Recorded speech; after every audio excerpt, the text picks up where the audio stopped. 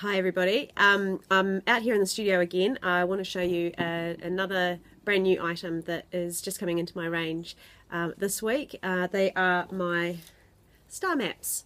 Now these beautiful pieces, um, this is the largest one. Let's see if I can get that showing up for you. So it is recycled Rimu with um, fine silver, recycled fine silver stars.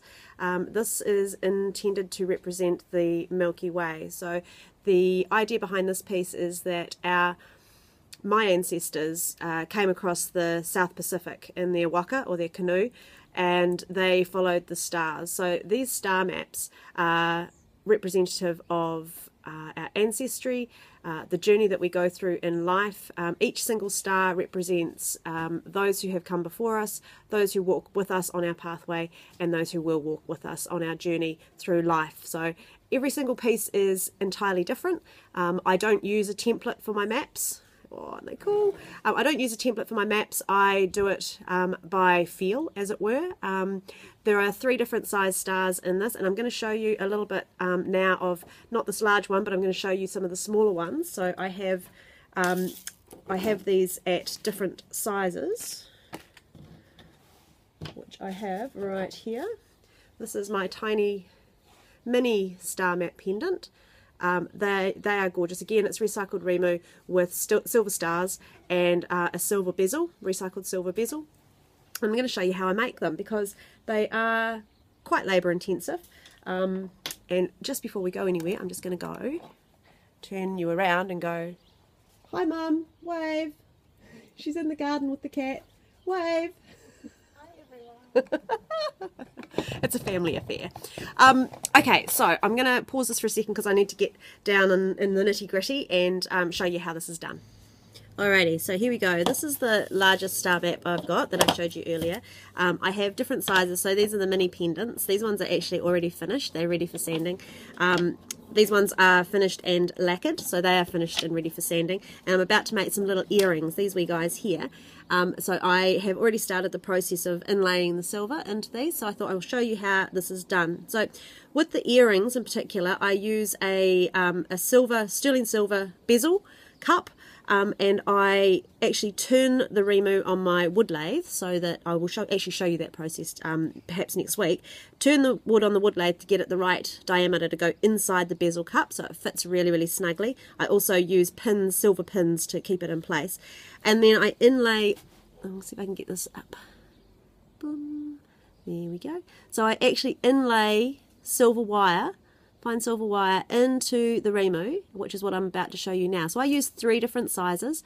I use uh, 1 millimeter silver, I use 0.7 and I'm about to use 0.5. So what I do, like I say, there's no um, there's no template with these. I use this is my this is my trusty drill. Now you probably can't even see the drill bit on this one. This is a, fi a, a half a millimeter um, drill bit. These are really really fine. Um, and it just you've just got to go slow. So what we do is we literally take our bezel and our wood and we drill a pattern. One, two,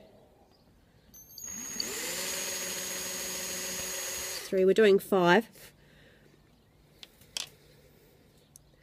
Where will we go? Well, that one looks cool. Get it close together. Four, and then one over the side here.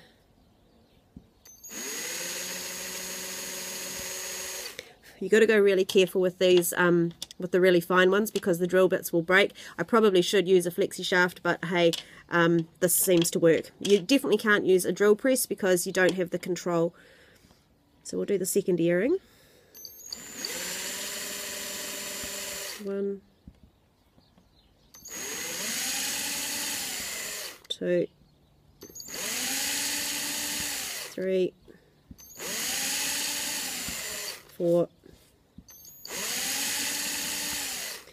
five. Right, so that's the drilling done. Now what we do is we take our wire. So this is the fiddly part. And this is what takes all the time other than the sanding. So what we've got, this is 5 millimeter wire, silver um, fine silver wire.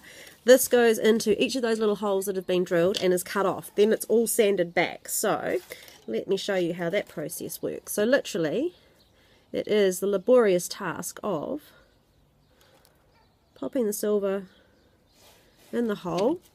Use your flat nose pliers to push it in as far as you can. And then I use flush cutters, these wee babies here, to flush cut flat against the wood. It's all going to be sanded down. And what that does, it actually creates, you can't really see it, but it creates a point on this bit of the wire, which you can then push into the wood and it will actually grip into the into the hole. If you were to use a flat end on it, it's not going to get the same purchase in the hole. So, so you can imagine when I'm doing the big star maps, it takes quite a bit of time to do this. And you need to do because of the different sizes of the holes I start with the largest ones first and then work my way down to the smallest stars possible. Okay. Right so that's our 5 millimeter 0.5 millimeter sorry half a millimeter wire in there. So in terms of actually embedding the wire and laying the wire in, that's finished. So what I'm going to do now is I'm going to you sand it right back to the edge of the bezel cup. Let's do this. I do it by hand because you need to have control. So at this point, if you were to use a mechanical sander, if I was to use a even a Dremel to do it at this stage, you run the risk of actually popping those little silver pieces out.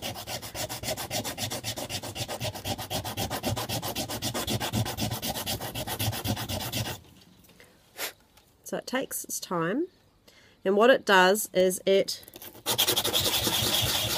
this is 240 240 grit sandpaper by the way um,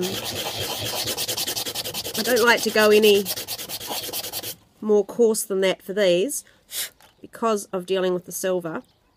But you'll see that they're starting to become flat. We got that. Let me just check and make sure I can focus onto that. There we go. Cool.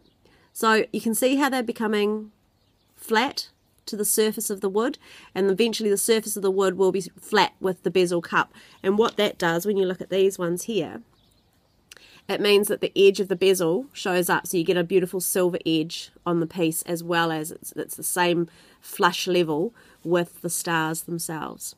And then it's really just a case of popping the findings in and um, popping them on a chain or on ear hooks and you're all done. So